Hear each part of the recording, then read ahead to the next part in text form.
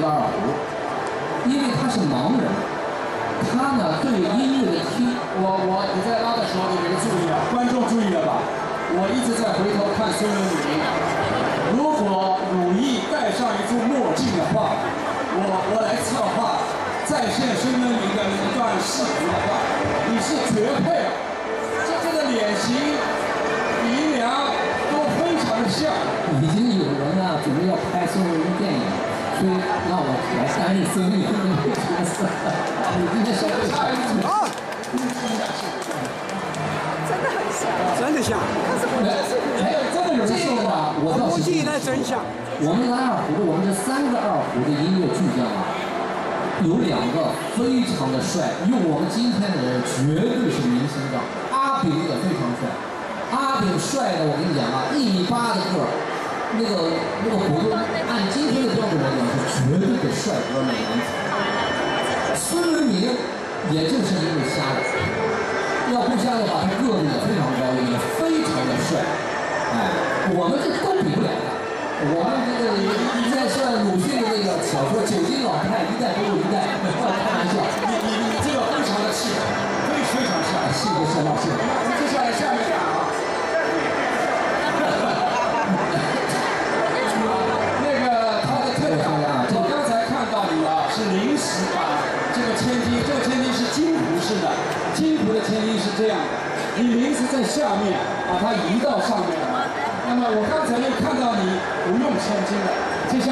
你看看，就这把琴上我我们沈老师特别的着急，这个一下子就把我好几个那个步骤全部都要回答，我一个一个的说。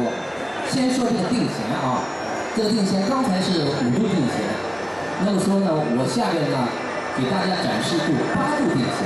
好，这个曲呢，在孙文的乐曲里边有好几首都这样的，比方说《宋听》啊。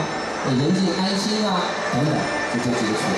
那么我呢，稍微给大家展示一下，因为今天啊，这个场合实在实在是太长了。啊，孙文明很多曲子呢，你要静下心来细听它的音色。所以我今天呢，我就稍微的展示一下，好吗？要活着的话，会有意见。到人尽安心，是孙明先生一九五七年写的。孙文明先生这个一生呢写了十二首曲子，绝大多数都怎么样？都是比较乐观的，纯音乐性的。呃，他不像阿炳，阿炳呢，呃，就说阿炳呢，呃，这个人呢，呃，很有意思。阿炳风流倜傥，是个才子。呃，很年轻的时候。他就是，就像我们现在是明星，因为外号叫小天师，他弹的一手好琵琶和三弦，拉的一手好二胡，吹的一手一一一曲的笛箫，都非常棒，全才。但是呢，阿炳呢，就有点，也有点像我们现在有些演员，呃，太有名了，太有才了。太受追捧了，所以有的时候就把持不住。那么说呢，犯了点生活错误，所以导致了他呢得了一种病，完了以后呢就双目失明了。那么说呢，而且呢很年轻就双目失明。那么说大家双目失明了以后呢，他就被赶出了他的那个雷雷军殿。那么说他原来是一个道场的主持。大家都想象，可以想象啊，我们都去过龙华寺，都去过玉佛寺，那个方丈，那个里边可是富得流油啊，对不对？那里边很有钱的。那么说阿炳呢，就是在那里边做方丈的，做主持的。你想想他有多钱，有多钱？那么人家都都要供着他，但是他瞎了以后就被人一脚就踢出来了，从此流落街头，生活没有保障。那么说，你想想，这个人呐，从天上一下就到了地狱里去了，这个可想而知，阿炳是一个一个人遭受这种打击是一个什么样的境况。但是呢，阿炳这个人呢，很孤傲，有一身的傲骨。那么说他呢，又不去低头求人，其实我们现在说呢，阿炳的沿街乞讨啊，我不是这样看，只是实在饿了没办法，或者有点什么办法，他才是这样。他多数都在哪儿？他自己说了，将那个那个无锡惠山脚下，在那拉琴，自己在那地方孤独的对着月光，对着泉水，诉说他孤独的人生，感慨他沧海桑田。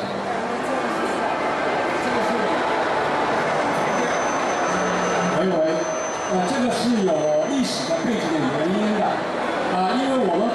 作为一个旧社会、万恶的旧社会的一个代表，是吧？所以呢，有有些方面是给他推到了一个，他自己也没有想到，刚才我们啊说有些，呃，为什么孙文明没有像阿炳一样出来，也我就说主观的也有客观的，实际上客观的就是这个时代。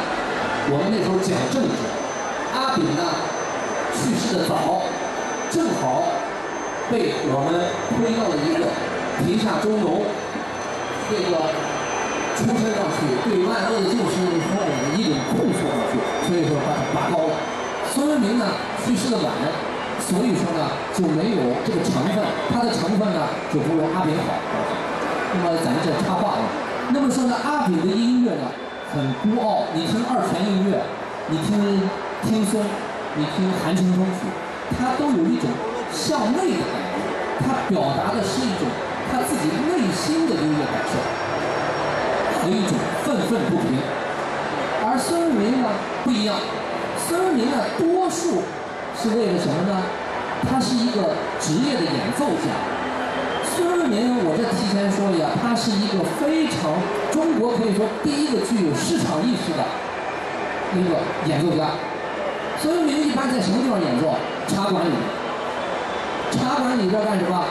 卖票，和茶馆的老板分成。一毛五分钱一张票，茶馆提成一毛钱，孙文明提成五分钱，所以说孙文明那时候就很有市场意识，他是在开音乐会，独奏音乐会。我插一句啊，那个吴志明原来民事的教授跟我讲，上赫鲁宾教授请他老院长请他来教学的时候啊，你们猜猜看，每个月他去财务，吴志明老师财务去领工资，领的钱拿到马当路，那时候他借在马当路，他老家在奉贤，马当路的住所里面给他工资，一个月的工资多少钱？你猜猜看多少钱？五几年啊？五八年、六零年的时候多少多少钱？九十多块。九十多块，你想想我们的父辈，那时候什么九十多块，是吧？作为一个民间的艺人上音音乐学院这么大牌的院长，请他来出这么价的价位，是如何的多么看重他。可能贺院长也知道，他很早就会分成，非常强。那时候我们院长爱才确实是这样的。从肖友梅，我们音乐学院建院的第一任院长就是这样的。呃，当时肖友梅请那个那个苏联的那个犹太钢琴专家查克洛夫来的时候，他的工资要比肖友梅要高得多。哎、就是我们因为上海音乐学院有这个传统。呃，所以说苏宁呢有很多的东西呢，他是表达的是纯音乐。这个人间安心呢，就是他表达的一种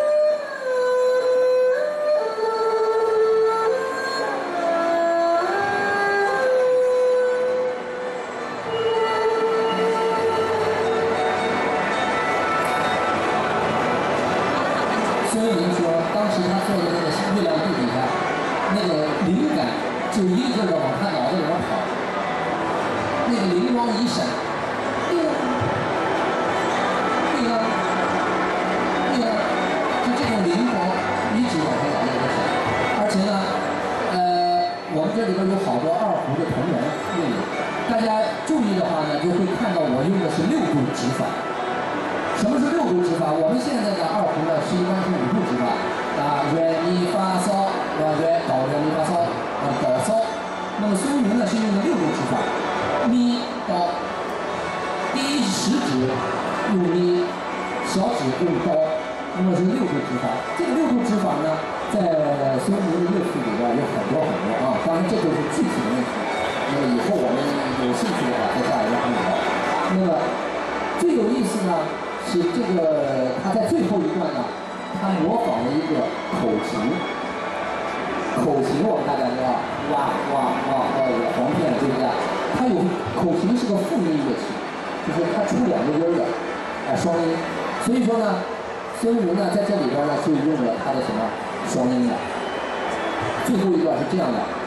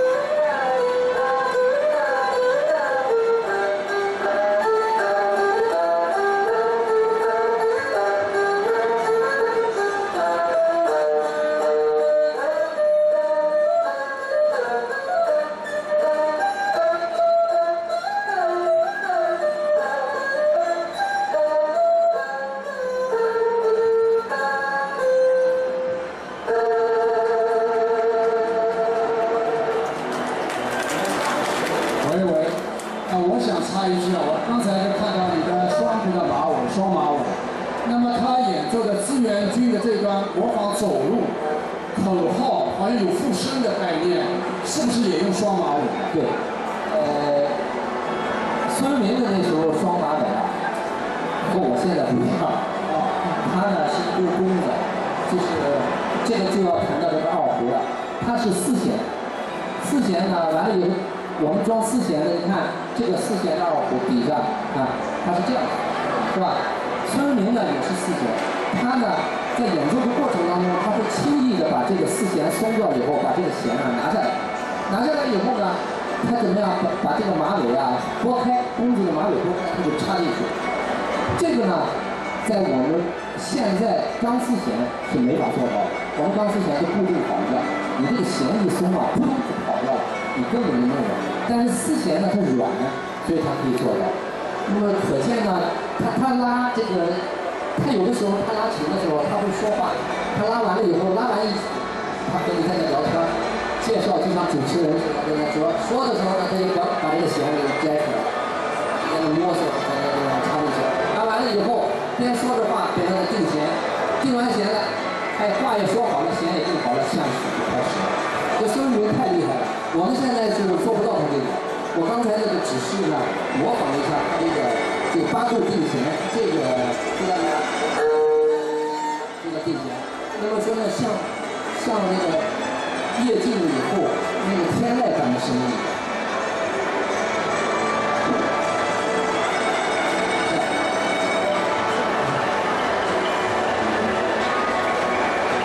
呃这是他第一个法宝叫定弦啊。呃第二个法宝就千金。这个千金呢我把它称为啊二胡的 dna 啊这个二胡呢有两个 dna 一一个是千音一个就是我们的皮膜大家都知道现在一个 dna 是什么意思 dna 是遗传基因也就是说你是什么你就是你具有什么样的 dna 那么说呢这二胡是什么？二胡就具有这个 dna 一个千金一个是皮膜有很多人把这个二胡呢皮子改成了什么？固定一个坎儿，这边弦绑弦轴，它中间一个山口在这个地方可以用，是吧？那么这个弦呢，在这两个山山口和这个月口之间震动。唯独二胡不同，二胡是什么？把这两根琴弦一扯，它把灯把这个勾勾起来，这一勾，它张力完全变开，非常有意思。但是呢，我我非常赞同那个鲁豫老师的观点，我也第一次听到啊，就说两个基因决定了一个二胡的特征，如果这个两个基因没有了，就不叫二胡了，这个特征真正也就死了，对吧？就不是二胡了，就不是鲁豫了，就沈振国了，变了变了一个人了。但是但是他刚才讲的啊，这个千金这个点啊，它下面的是叫我们叫有效弦长，上面呢叫无效。但是二胡上看似无效的部分，它在震动当中是一同参与活动的，一同参与震动的，所以它的这个这个特点，我认为总结的非常，以前没人说过，啊，真的，以前一般是无效全场起不了什么作用，但是有的时候恰恰，像古筝也是这样，无效旋转的时候作用有时候非常大，其实就是短了以后声音会非常干。其实刚才沈老师说这个道理非常圆呐。长的那个扁桃体和那个盲肠一样，你说长这个盲肠也没什么用，但是呢，你要把它割了以后把它开肚子，你一开肚，你的元气就没了，你呢就不行了，就伤了元气了。所以说呢，它这个有效悬长和无效悬长它还有一定作用啊。怎么说呢，我下面就说这个。那么说呢，这个一般的人，一般的人绝对不敢动这个千斤，你只要一动千斤，好了，你找不着了。而恰恰说明非常，他就创新，把这个千斤啊就给拿掉了。但是呢，我们把这个千斤拿掉了以后呢，出现了什么样的情况呢？那个弦呐，要不然就并在一起，要不然呢就离得太开。那么说呢，这时候就带来了另外的一个问题，就是怎么样把这个弦，把它山口给它固定住。这时候就是沈老师刚才说的这个上弦的方法，我称为这是第三个方法。我们二胡的上弦是一个顺时针上，一个逆时针上，外弦是顺时针上，里弦是逆时针上。为什么这样呢？因为我们必须要把这个琴弦分开，由千斤成这个弦，因为三点成一线嘛，它要有一个张张力。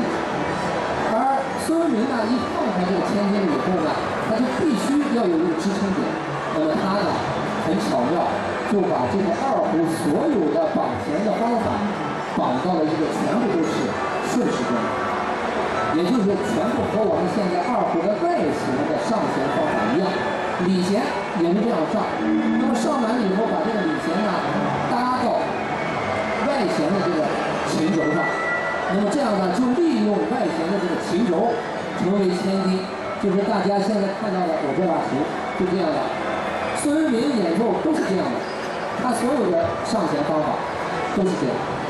那么呢，这样的话呢，和他这个千金呢配合起来，那么可以放掉，可以拿掉，这就是他其中的第二个法宝，第三个法宝啊。有的用千斤，有的不用千斤，哎，比方说弹乐，那就不用千斤。那么我就拉这么一一段弹乐，大家听一听，不用千斤是什么？这个在二胡上模拟弹拨乐器的声音，啊，那么你把千斤要拆掉是吧？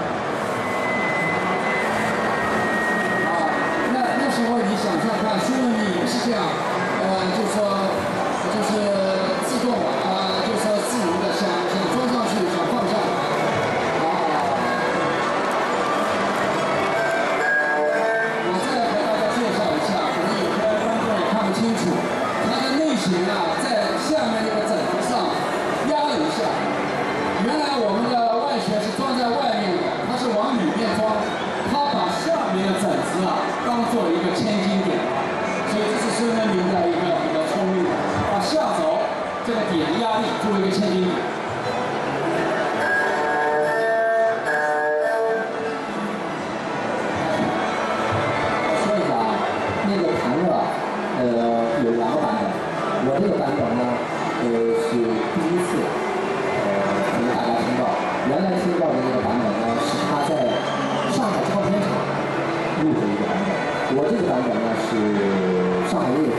音乐学院录的一个版本。那么两个版本呢差别很大，呃，但是我更喜欢上海音乐学院录的版本，因为这个版本呢里边它的功法的变化和它的节奏的变化更加的丰富。呃，大家可以稍微听一下啊。下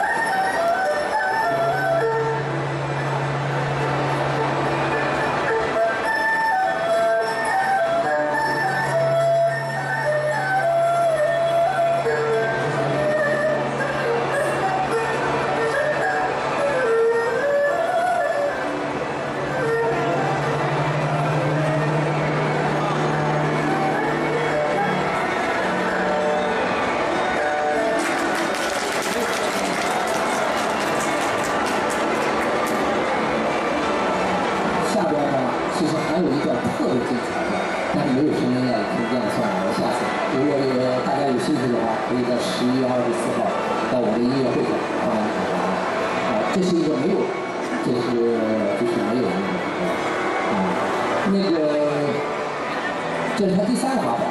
那么第四个法宝呢，就是他的弓子啊，弓子。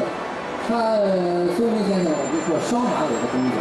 他呢可以拉出来非常非常多的回音效果，呃，正因为他的这个二胡的弦呢离开了，不像我们有前提把它勾上以后呢，它并得很紧。那么说呢，开了以后，再加上它的弓子呢是双马尾，可以把它同时拉两个音。那么这样的话呢，它就可以拉两个二胡的双音就可以拉出来。那么所以说呢，孙明呢经。